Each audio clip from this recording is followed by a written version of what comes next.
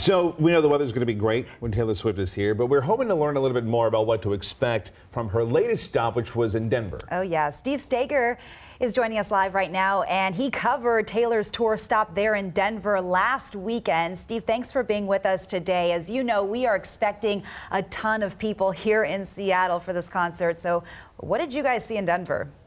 It was, uh, do I call it Swiftamonium, Pandemonium? Is that really overblown? I don't want to use this song because we were hearing from so many Taylor Swift fans that the news needs to stop using song lyrics in your writing. So we're, we're not going to use a Taylor Swift song. But it was for a city that, you know, coming out of a pandemic may not have seen as many people in the last few years. Denver really was packed for this concert. And when you add on top of it, we had the Taylor Swift concert, 70 80,000 people over at Mile High Stadium, plus a Rockies game with about 50,000 people at Coors Field downtown was just absolutely busy. And it, it, the, the mood, though, you would think that so many people stacked on so many people would be kind of tough to handle, but everybody was happy throughout this entire concert stop. So it's going to be crazy. Be prepared for that. If your plans bring you downtown, be ready for big crowds, but be ready for big happy crowds.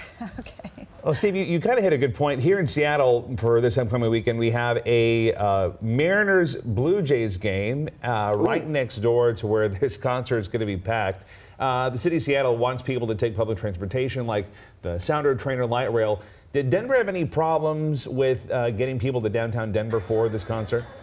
We didn't necessarily, I mean, if you ask certain people, they would say that there were problems because they saw massive crowds on transit platforms. And I, I, actually, in the lead up to this concert, I talked to other transit agencies across the country that have dealt with what they call the swift boom.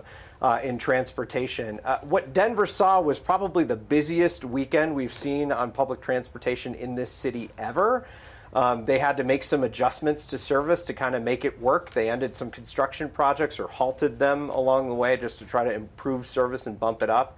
But the one thing that is nice about a concert like this, unlike a sporting event, is that it's everybody leaving all at once. And so you can kind of plan for it, unlike a sporting event where you have people kind of like sporadically leaving throughout the course of the game once their team is losing or you know something or the, the, game gets boring a lot of people tend to leave the stadium in this case people wait for that surprise song at the end of the uh, the set apparently there's a surprise song uh, okay. uh, and they they all just kind of leave right at the same time and so our transit service rtd actually had extra service ready to go uh, so that they'd fill up a train and then have another train on the platform to try to get out of there as quickly as possible. You'll hear from people who will complain. People who don't usually ride public transit aren't used to kind of the big crowds, but uh, they, they will love it and they will get there. For some reason, Taylor Swift fans love public transit. It's, it's, they will make it there for sure. Yeah. Uh, Steve, you know, it can be overwhelming, but you said the crowd is having fun and they're friendly. And, uh, you know, I know that the bracelets are a big deal at the Taylor Swift concert. So